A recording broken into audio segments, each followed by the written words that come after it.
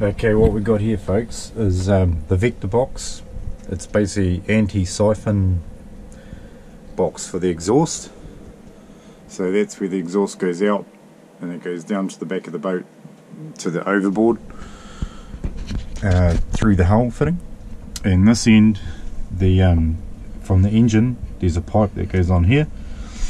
But what we're going to do today is just um, flush. We're going to flush this out. So we need to take off these um, hose clips, hose clamps, and carefully take that pipe off.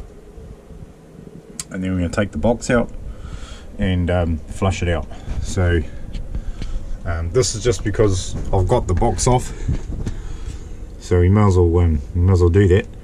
So I'm going to take all these clamps off because I need to have my hands free to catch the water and stuff like that. So I've got this container here to catch the water and then um, we'll show you the um, flushing out in the next video.